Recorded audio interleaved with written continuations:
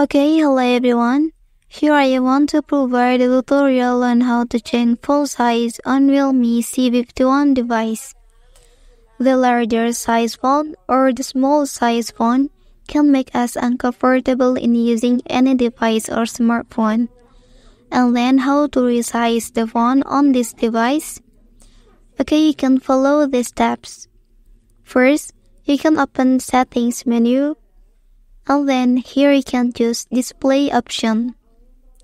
After that, here you can scroll down and choose display size and text. And then you can resize your phone device like this as you need. Okay, that's the tutorial on how to change font size on Realme C51 device. Don't forget to subscribe for more information from this channel. Thank you.